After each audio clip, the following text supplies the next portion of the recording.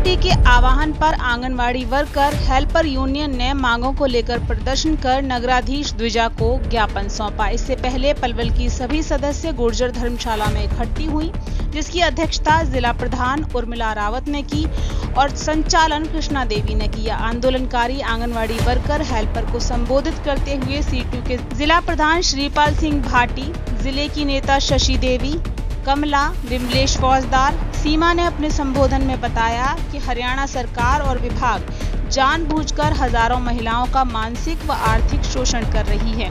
बिना वजह राज्य की 975 वर्कर हेल्पर्स को नौकरी से बाहर बिठा रखा है।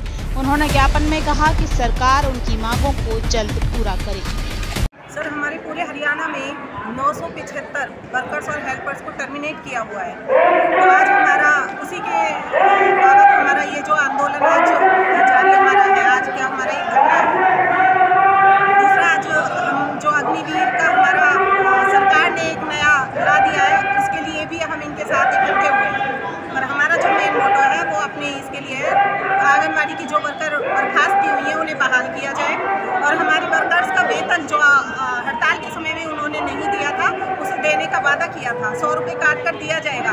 फिर इन्होंने कह दिया कि पच्चीस परसेंट काट कर काट कर दिया जाएगा। अब अपने उस वादे से भी मुकर रहे हैं कि अब वो कह रहे हैं कि सिर्फ़ पच्चीस प्रतिशत ही दिया जाएगा।